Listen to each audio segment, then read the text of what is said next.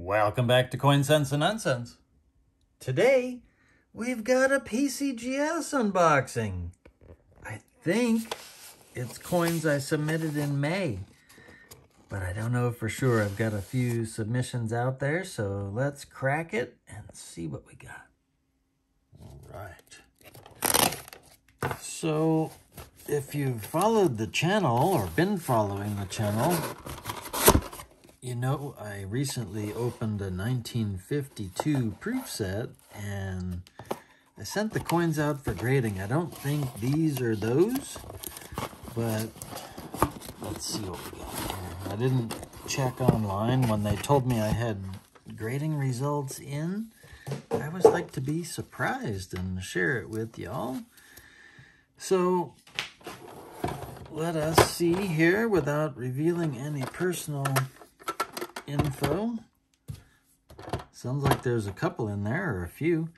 So I did get some of the coins back already from this set, uh, only two of the five. I think these, however, are coins that I submitted um, in May with my grading vouchers.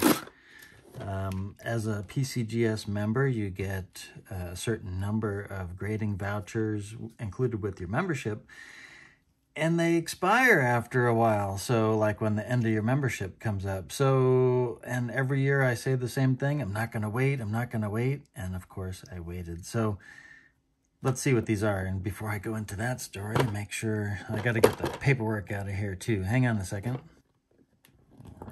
So we do have four coins in there, and that is what I submitted for my for my vouchers or with my vouchers and don't know what kind of order. That looks like a kind of a larger coin so don't want to give away too many details yet. So I submitted four coins that were most likely not going to get a legitimate grade, and this one might be the most exciting one here, so uh, let's start. May as well start with that since it's right here. So, um, oh, okay. So this is the Arrows and Rays half dollar, 1853. And if this one actually gets a legitimate grade, it's it's gonna make my day. Um, I kind of think it's been cleaned, and I submitted it just for the heck of it because I was up against the calendar or the clock with my PCGS submissions.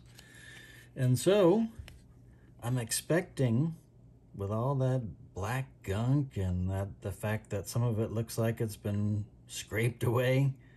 I'm thinking this is to get a details grade. But let's see what we got here. Genuine. Repaired even. Okay. So looks like that part has been scraped away. I don't recall seeing that scrape when I submitted it. But um, I didn't expect much with this. It's still, you know, got a got a value to it. I don't know what kind of repair has been done, but I will take a closer closer look at it. So I don't know if it's been in jewelry or what, but I bought it at the local coin shop and I knew it was garbage, but I didn't have an arrows and rays and now I've got one that's genuine. So the next one up Oh, this is another one that's going to be a bust. This is a Hawaiian coin.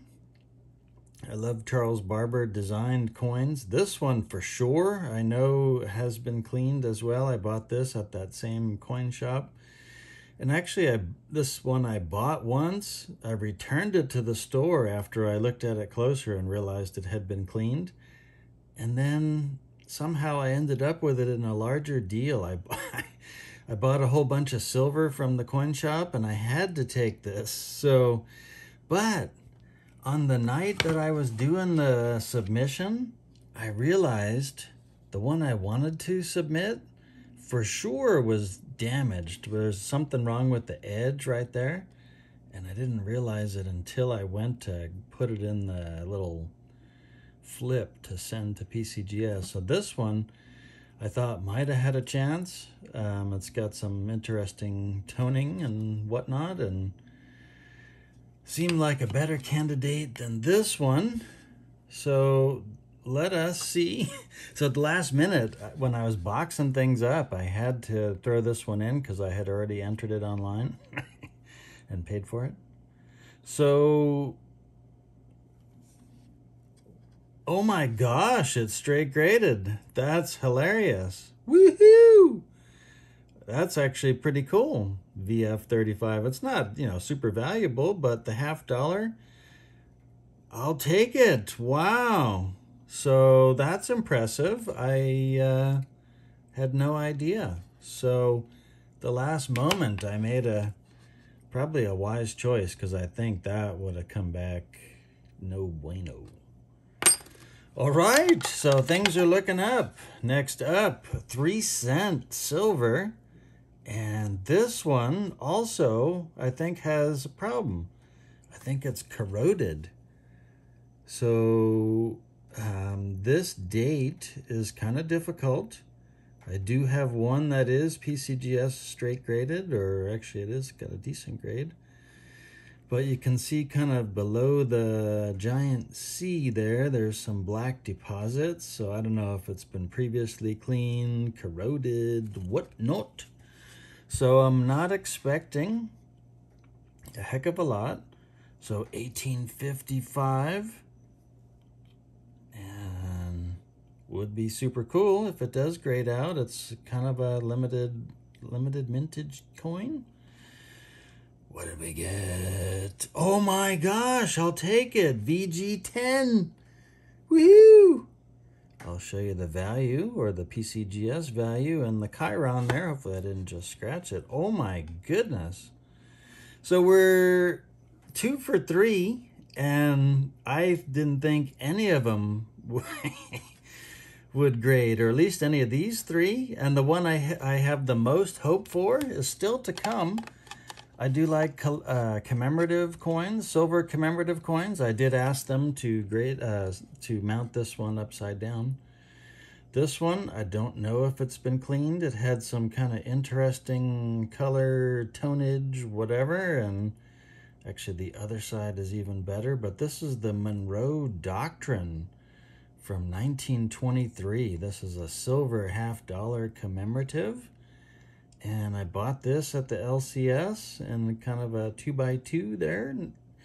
Questionable, but I didn't have this one in my collection. And I am trying to put together a bunch of commemoratives. So see what we got here. So it did look interesting to me with this color. And I don't know if that's you know, artificial or what, this is the one I had the highest hope for, and now after seeing those other ones, I hope I'm not going to be let down, but here we go.